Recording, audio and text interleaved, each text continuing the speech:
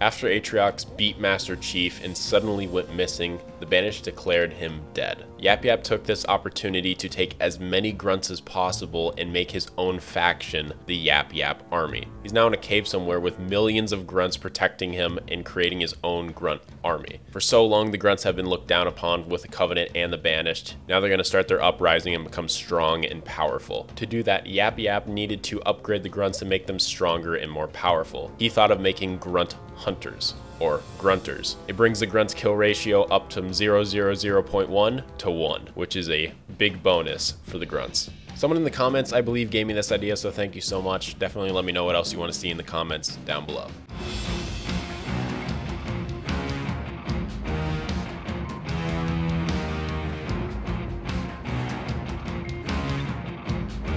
Leave a like and subscribe.